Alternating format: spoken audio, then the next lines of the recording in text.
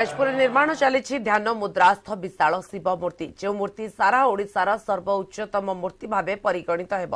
ପୂର୍ବରୁ ରାଉରକେଲାରେ ଥିବା ହନୁମାନ ବାଟିକାରେ ପଞ୍ଚସ୍ତରୀ ଫୁଟ ଉଚ୍ଚର ହନୁମାନ ମୂର୍ତ୍ତି ଥିଲା। କୋରାପୁଟର ଦାମନଯୋଡ଼ିରେ ଶହେ ଆଠ ଫୁଟ ଉଚ୍ଚତାର ହନୁମାନ ମୂର୍ତ୍ତି ଅବସ୍ଥିତ। ଏହା ସମ୍ପୂର୍ଣ୍ଣ ହେଲେ ଅଧିକରୁ ଅଧିକ ପର୍ଯ୍ୟଟକ ଜିଲ୍ଲାକୁ ଆସିବେ ବୋଲି ଆଶା।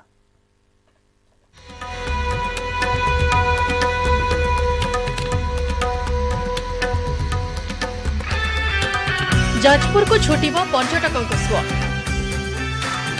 ଯାଜପୁରରେ ମା ବିରଜା ମନ୍ଦିର ଦଶାଶ୍ୱମେଧ ଘାଟ ଏବଂ ବୌଦ୍ଧ କୀର୍ତ୍ତିରାଜିର ସମ୍ଭାର ପାଲଟିଥିବା ତଥା ହୀରକ ତ୍ରିଭୁଜ କୁହାଯାଉଥିବା ରତ୍ନଗିରି ଉଦୟଗିରି ଏବଂ ଲଳିତଗିରି ଭଳି ପର୍ଯ୍ୟଟନସ୍ଥଳୀ ଅବସ୍ଥିତ ଏହାକୁ ଦୃଷ୍ଟିରେ ରଖି ବହୁ ସଂଖ୍ୟାରେ ପର୍ଯ୍ୟଟକଙ୍କୁ ଯାଜପୁରକୁ ଆକୃଷ୍ଟ କରିବା ପାଇଁ ଯାଜପୁର ସହର ଉପକଣ୍ଠ ବୈତରଣୀ ତଟ ବରାହପୀଠ ନିକଟରେ ଚାଲିଛି ସୁଉଚ୍ଚ ଧ୍ୟାନମଗ୍ନ ଶିବ ମୂର୍ତ୍ତି ନିର୍ମାଣ ଯାହାର ଉଚ୍ଚତା ଶହେ ତେଇଶ ଫୁଟ।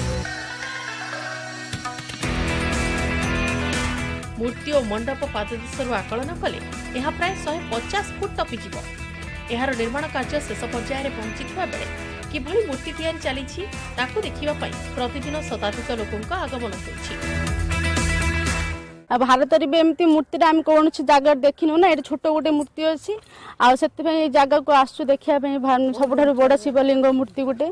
ଆଉ ଭଲ ଲାଗୁଛି ସବୁ ବହୁତ ବି ଲୋକ ଆସୁଛନ୍ତି ଆମେ ବି ବାଲେଶ୍ୱରରୁ ଦେଖିବା ପାଇଁ ଆସୁଛୁ। ମା ବିରଜା ଆମର ଯାଜପୁରର ଫେମସ୍ ଅନ୍ୟାନ୍ୟ ପର୍ଯ୍ୟଟନସ୍ଥଳୀ ଅଛି କିନ୍ତୁ ତା ସାଙ୍ଗରେ ଯୋଡ଼ି ହେଉଛି ଆମ ପଛପଟରେ ଦେଖୁଥିବେ ଆପଣ ଶହେ ତେଇଶ ଫୁଟର ମୂର୍ତ୍ତି। ଏହା ଏକ ମାଇଲ ଖୁଣ୍ଟ ହେବ ଇଏ ନିଃସନ୍ଦେହ। ତେଣୁକରି ମୁଁ ଆ- ଆଶା କରିବି ଏ ଯେଉଁ ଅ, ପ୍ରକଳ୍ପଟି ଚାଲୁଛି ତାହା ଅତି ଶୀଘ୍ର ସମାପ୍ତ ହେଉ।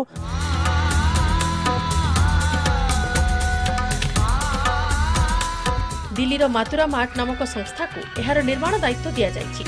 ଏଥିପାଇଁ ପ୍ରାୟ ନଅ କୋଟି ଅଶୀ ଲକ୍ଷ ବୟାଳିଶ ହଜାର ଟଙ୍କା ଖର୍ଚ୍ଚ ହେବାର ଆକଳନ କରାଯାଇ କାମ ଆରମ୍ଭ ହୋଇଥିଲା। କିନ୍ତୁ ବର୍ତ୍ତମାନ ପ୍ରାୟ ସତୁରି ପ୍ରତିଶତ କାମ ସରିଥିବା ବେଳେ ବାର କୋଟିରୁ ଉର୍ଦ୍ଧ୍ୱ ଟଙ୍କା ଖର୍ଚ୍ଚ ହୋଇସାରିଲାଣି। ମୂର୍ତ୍ତି ସମ୍ପୂର୍ଣ୍ଣ ହେବା ପାଇଁ ପ୍ରାୟ ଷୋହଳ କୋଟିରୁ ଉର୍ଦ୍ଧ୍ୱ ଟଙ୍କା ଲାଗିବ ବୋଲି ଆକଳନ କରାଯାଉଛି। ପ୍ରଥମ ଥର ପାଇଁ ଏଭଳି ଏକ ବିଶାଳକାୟ ମୂର୍ତ୍ତି ନିର୍ମାଣ ହେଉଥିବାରୁ ଏହାର ଫ୍ରେମ୍ ନିର୍ମାଣ ସମୟ ସାପେକ୍ଷ ଏବଂ ବ୍ୟୟବହୁଳ ରହିଛି। ଫାଇବର ଓ ଷ୍ଟିଲରେ ଏହାର ଫ୍ରେମ୍ ନିର୍ମାଣ କରାଯାଉଛି। ଏହାକୁ ଖରା ଓ ବର୍ଷାରୁ ରକ୍ଷା କରିବା ପାଇଁ କପରରେ ପୁରା ମୂର୍ତ୍ତିକୁ ଆଚ୍ଛାଦିତ କରାଯିବ। ମୂର୍ତ୍ତି ନିର୍ମାଣ ସମ୍ପୂର୍ଣ୍ଣ ହେଲେ ଏହା ହିଁ ଓଡ଼ିଶାର ସବୁଠାରୁ ଉଚ୍ଚ ମୂର୍ତ୍ତି ଭାବେ ପରିଚୟ ପାଇବ। ଏଠାରେ ଖାଲି ମୂର୍ତ୍ତି ନିର୍ମାଣ ହେଉଛି ତା ନୁହେଁ ବରଂ ପୁରା ମୂର୍ତ୍ତି ଚାରିପଟେ ଅନେକ ମନୋରଞ୍ଜନମୂଳକ ପ୍ରକଳ୍ପ ନିର୍ମିତ ହେଉଛି ଯାହାକି ଶିବା ଗ୍ୟାଲେରୀ ନାମରେ ନାମିତ ହେବ। ଏହି ପରିକଳ୍ପନା ଶେଷ ହେଲେ ଶିବା ଗ୍ୟାଲେରୀ ଯାଜପୁର ଏବଂ ଓଡ଼ିଶା ପର୍ଯ୍ୟଟନର ଏକ ପ୍ରମୁଖ ଅଂଶ ହେବ